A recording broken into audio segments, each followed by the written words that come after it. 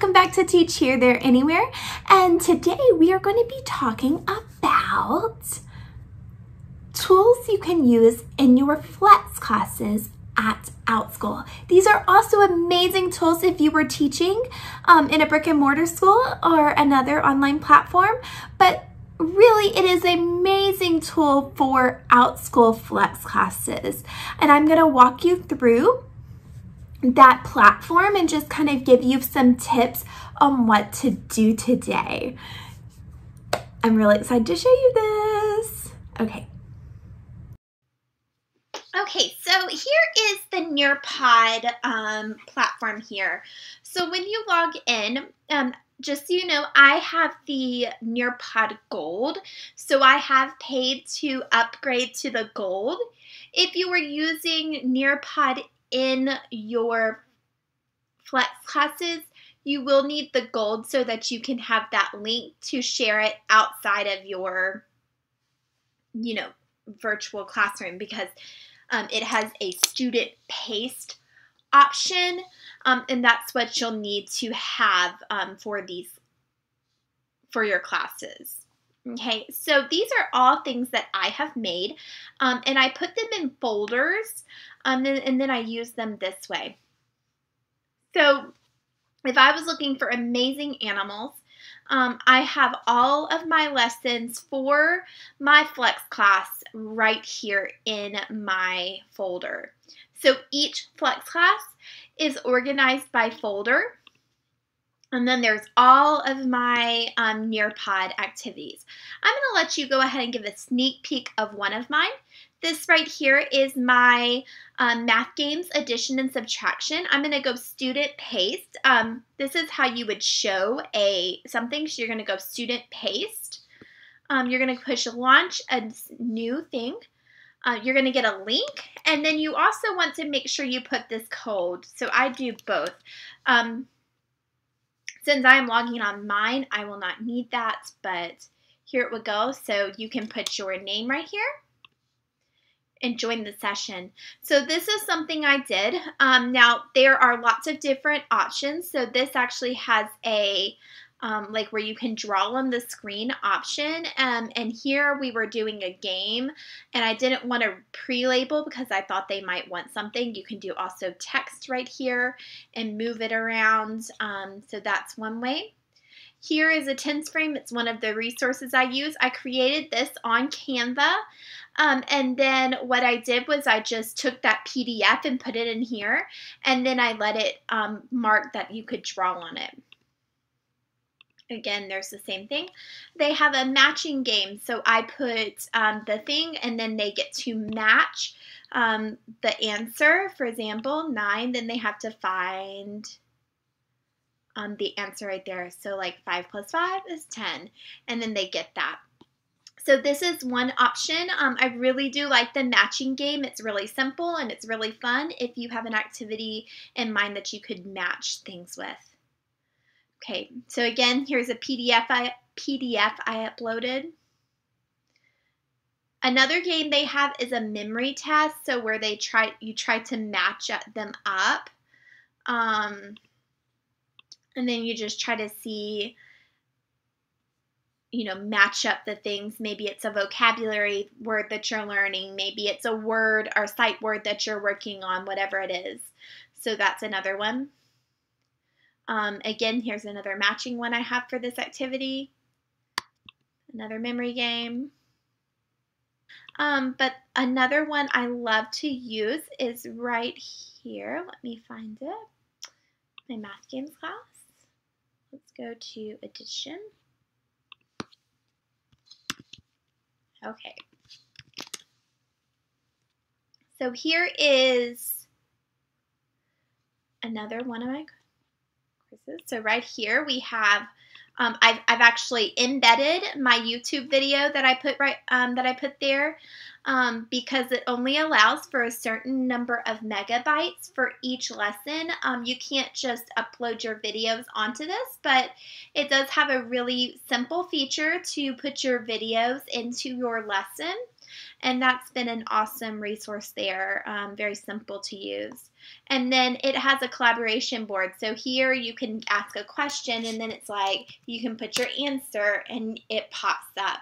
And then you can like it, you can let, you know, you can interact with others on the board, which is really nice. There again is another video I made. Here is, you can insert the PDF. So I, I give them a PDF that they can um, do, um, complete um, each week for my flex classes. And I just place them right here. So that way everything that they need is in one spot and I don't have to worry about trying to remember to upload multiple things a week. Again, there's the matching. This is a game called Time to Climb. I really like this game. It's super simple. The um, student can choose an animal. There's also nice background, um, background music the whole time. Once you push start, it's like a game. So students will be practicing whatever question and then whatever answers you put in there. Um, and then the character over here will climb up the mountain. And it goes on and on and on. You can put as many questions that you as you like or the variety of questions you don't like. If your student were to get it wrong, it's going to say all snap. It's going to give them the correct answer. Another thing I like about Nearpod is that you can do polls. So um, you can choose, like, for example, I can actually have a question. I can put an audio right here. What was your favorite addition game that we learned this week? I want you to choose which one that you liked. So I can actually record something there. This right here is called Immersive Reader. So if you have a student who has some um, disabilities or struggles with reading, this is a great tool that they can use. And all they have to do is push it um, and then any words on the screen are going to come into this um, immersive reader and it's going to Which read for them. Addition game that you played this week? A. Math dice game. B. Teacher versus student game. C. Card addition. D. Addition matching game. E. Time to climb. So it gives them options, which is really nice for either um, your younger um, students or if you are you have some um, struggling readers or kids with dyslexia or something like that. Okay, so those are that. Now let's go ahead and jump in and I'm going to actually walk through. So if you want to create a lesson in Nearpod, you're going to do create your own lesson in Nearpod. You can also do this in Google Slides, um, which I can show you in just a minute. So there is a way to make this in Google Slides. You install the Nearpod add-on by going to add-ons here, and then you can add Nearpod. You open Nearpod um, and at this point, you can do all the activities that you would have done over there right here. So this is a great way if you want things not to be saved on your Nearpod um, account only um, to save it over here. And you can do a lot of the same features. I'm going to jump back over to Nearpod. Um, so when you want to create a new lesson plan, you're just going to go, there we go. So it does save in Nearpod, but it saves as Nearpod lesson or whatever you title it as. Um, if you want to create in Nearpod, you can do that as well. And what you're going to do here is you're going to add a slide. So there are different options. You can add a video. This would be like if you have a YouTube video that is Creative Commons or um, public domain, or if you have a video that you have recorded yourself and then you can put it as unlisted and then you put that link right here and anybody with the link can view or anybody who comes in here and plays this video can actually see that. The other thing right here is a slide. I'm going to actually jump into the slide. Now the slide, you can change your background. You can search things for background. There's also themes. These change the whole entire um, lessons. So you cannot choose a different theme for every single page, but you can change the layout of it, whether you want four elements or whether you want a title and two elements or whether you want a title and one element. There's some different things there. You can also add audio to every single one of these. So for some of my lessons, instead of doing big videos, I'll actually just add an audio recorder. And if you click here, you can record whatever you would like and you can save it onto the screen and it saves right there everything that you just said. And when you're ready, you can actually play that back and it works. So I'm going to save and exit this. Every time you want to start a new slide, you're going to save and exit. So here, maybe I want to put um, a Nearpod field trip. These are really fun. Um, so you can search any kind of place, any place that you want. So I, I'm gonna. I'm gonna look up um, hmm, Tennessee.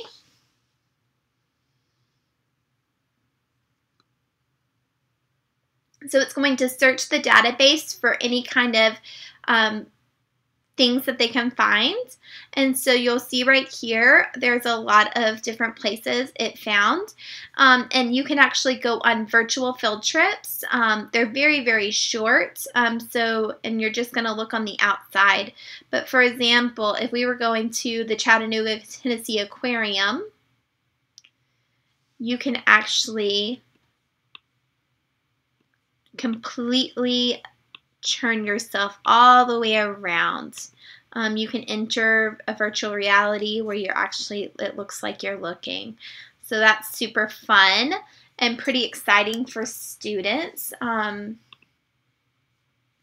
another thing they have that I use, um, right here is the PDF viewer. If you want to put PDFs in the document, maybe you want them to have access to something. This is one way that, um, the way that I send all PDFs to my students. Um, so I upload them there and then they can actually download them. Um, I do, so there are some other things like you can put web content if you're doing some other activity on a different website um, that you've had approved or Nearpod 3D, um, simulations, um, Sway, slideshows, audio, whatever you have. Here are some of my favorite things to use in the platform. So if you do Time to Climb, that's the one game that um, you has a lot of different activities. So here you will write your question. You can also put an image if you like. Um, there are sometimes like with money and things like that that I put an image um, and they had to use it. Then you can use text or image um, examples and then you just choose your answer right there um, or you choose your um, image um, and you push add a question and you can keep adding those. And your answer can either be um, images or text. And then you save them. Oh, it makes you add something. I'm just going to add um, to every single thing or you'll get a note that it won't save. So there is what I would do. Okay, so there's time to climb. Um, that's an awesome activity for your things. Another one I like to do is these are these open-ended questions. And I like to enable student audio re recordings because I'm an ESL teacher and I know some students are not especially because I work with the elementary level. Some students do not have the ability to type yet, um, especially in those younger grades, and so I enable it. So you can write your question here. You could even add audio, video instructions or audio instructions or do an audio recorder or whatever you would like and you can save it. Um, and then that student can go in and it's an open-ended question that they can either type or do a video an audio response to. Matching pairs is one of my favorite um, things to do. So you can put some instructions here and then you can add a pair, whether it be a text or a text and image or an image and um, both words or whatever you want to do. And then once and they um, once you have all of those there, um, it actually makes that fun game where students can choose to, and then they kind of put that green check mark when they get it right.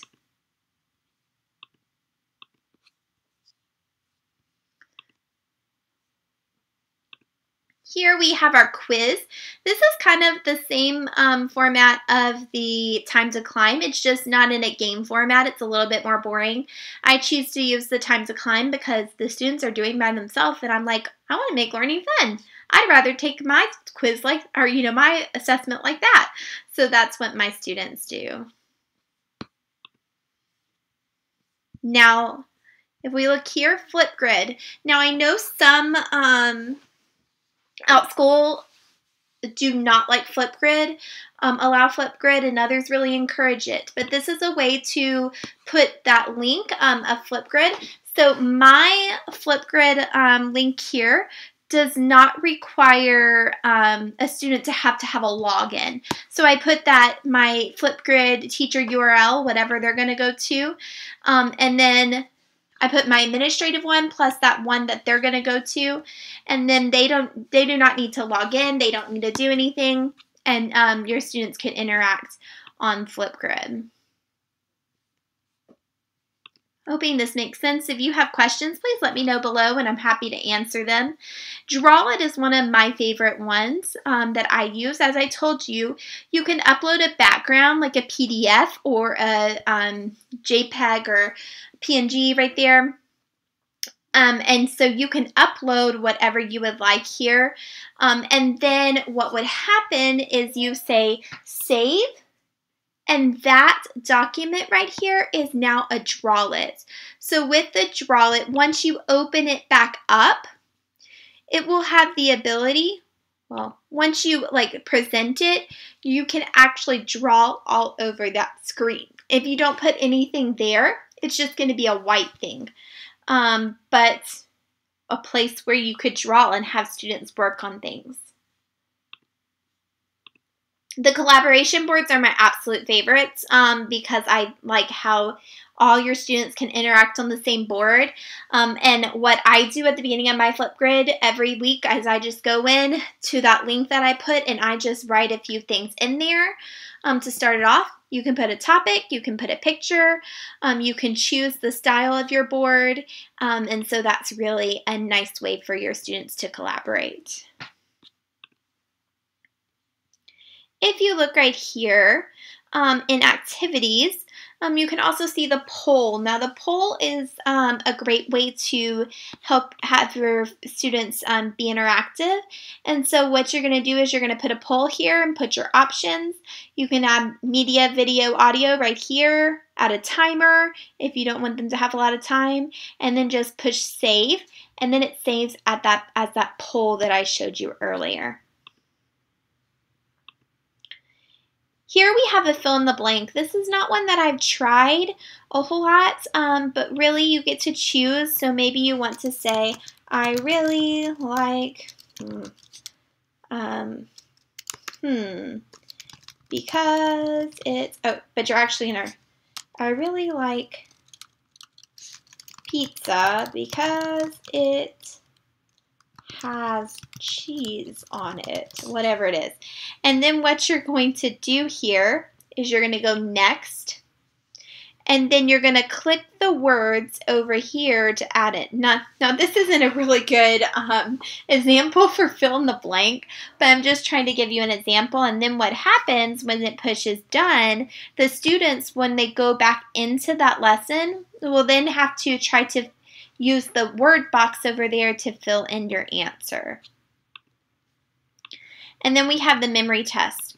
Now the memory test um, uses um, the same images, um, or you can use an image on one side, and then the students flip them over to try to find the same one.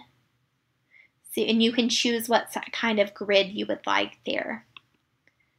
Okay, so my top ones that I use are this time to climb, open-ended question, matching pairs, Um, I do have a couple of Flipgrids um, because it was required by Nearpod for a few of mine when they did um, my reviews.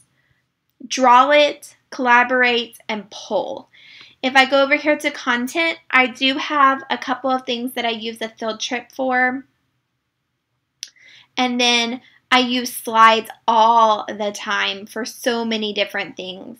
Um, I have I incorporated a video, so right here, if I were to put um, find my link of a video, I could copy paste right here, um, and then um,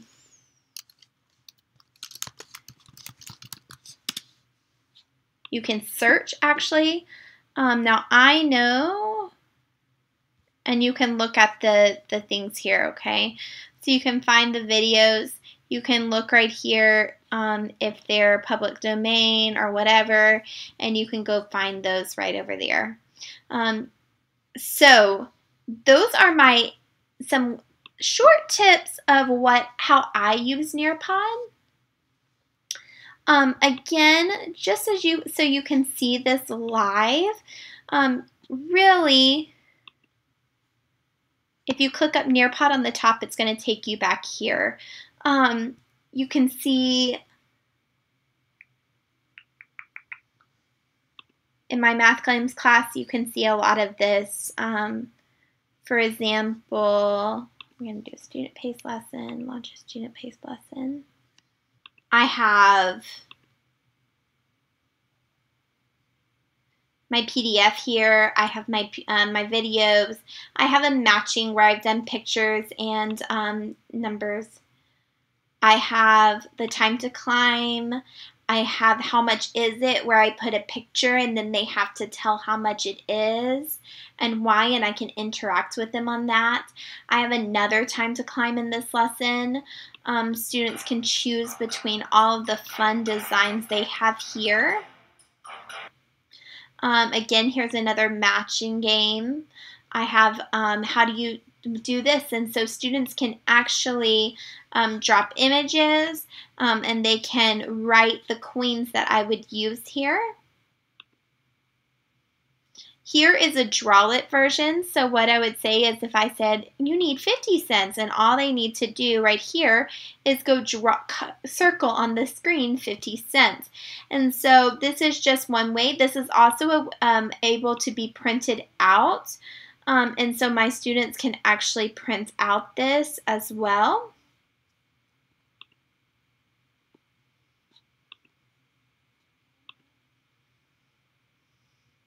And then I have a poll at the ends of every class.